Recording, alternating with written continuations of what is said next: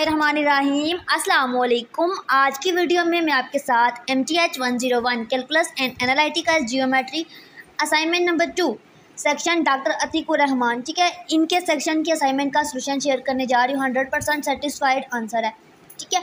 इससे पहले एक मैं सोल्यूशन अपने चैनल पे अपलोड कर चुकी है। इसके अलावा अगर आपको M T H one zero one के आल शॉर्ट लेक्चर चाहिए ऑनलाइन क्लासेस लेनी हो एल एम एस हैंडल करानी हो असाइनमेंट क्विज़ करवाने हो तो आप स्क्रीन पे नज़र आने वाले नंबर पे मुझसे कॉन्टैक्ट कर सकते हैं।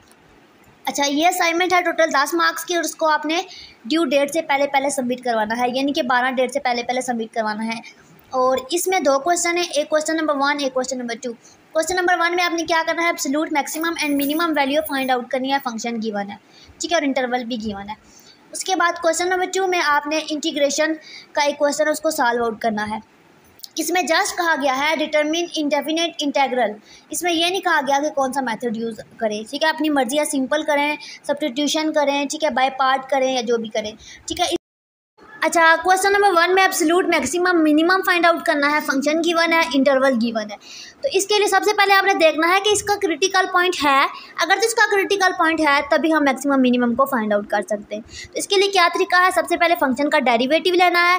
देन डेरिवेटिव के आंसर को आपने ज़ीरो के इक्वल सेट करना है और देन आपने एक्स की वैल्यू को फाइंड आउट करना है। एक्स की वैल्यू आ गई है टू यानी कि इसका मैक्सिमम और मिनिमम एब्सोल्यूट वैल्यू हम फाइंड आउट कर सकते हैं। तो सिंपल सी बात है फ़ंक्शन के अंदर मैक्सिमम वाली वैल्यू पुट करनी है माइनस थ्री थी ठीक है? माइनस थ्री को पुट करना है और मिनिमम के लिए मिनिमम वाली वैल्यू को पुट करना है। इसी तरह से हमने फ़ंक्शन के अंदर दोनों को दोनों वैल्यू को पुट किया और हमारे पास एक वैल्यू जो आ गई है वो मिनिमम की है और एक मैक्सिमम की है। इस तरीके से आपने आंसर के अंदर इसको लिख लेना है। नेक्स्ट क्वेश्चन नंबर टू में इंटीग्रेशन करनी है। इंटीग्रेशन बाय सब्सटीट्यूशन मेथड की कार्यों में, ठीक है?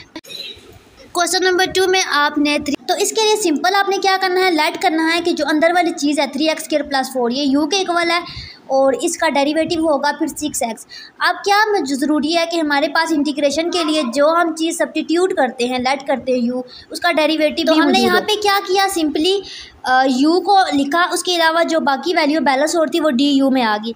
उसके अलावा जो बच जाती है उसको एज इट इज़ लिखते हैं। लेकिन यहाँ पे सारी चीज़ें आ गई है। See six X D X हमारे पास यू के इक्वल हो गया है और three X square plus four जो है वो हमारे पास यू यू की पावर फोर के इक्वल हो गया है। इसकी इंटीग्रेशन किया हमारे पास आंसर आ गया है। अब हमने करना क्या है? प्लस सी लिखना है साथ। और हमने यू की वैल्यू को पुट कर देना है और सॉल्व आउट करके हमारे पास ये आंसर आ जाएगा। आप कोई और मेथड भी यूज़ कर सकते हो। आई होप कि ये सोल्यूशन आपके लिए बेनिफिशियल रहा होगा। मजीद कमिंग वीडियोज़ के लिए चैनल के साथ इन टच रहें। चैनल को सब्सक्राइब करें। दुआओं में याद रखें। अल्लाह हाफिज़।